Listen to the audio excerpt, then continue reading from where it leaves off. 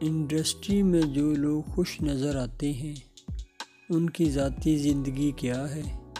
یہ وہی جانتے ہیں۔ آئیے بات کرتے ہیں اداکارہ نیلم منیر کی۔ اداکارہ نیلم منیر نے اپنی مجبوری بتا دی، جو ان کو شوبز میں لائی۔ نیلم منیر نے بتایا کہ ان کے والد اس وقت وفات پا گئے تھے، جب وہ تین سال کی تھیں۔ نیلم اپنی امی کو اپنا آئیڈیل مانتی ہیں۔ نیلم نے اپنی امی سے بڑی مشکل سے شوبز میں آنے کی اجازت لی تھی۔ نیلم نے بتایا کہ وہ نویں کلاس میں تھی جب انہوں نے پہلا کمرشل کیا۔ اور کام کے شوق اور لگن سے آج اپنے اس مقام پر ہوں۔ نیلم نے بتایا کہ اداکاری کے ساتھ ساتھ میں نے پرائیویٹ گریجویشن بھی کی ہے اور اپنی شادی کے بارے میں بتایا۔ کہ میں اس سے شادی کروں گی جو میرا دل جیت لے گا۔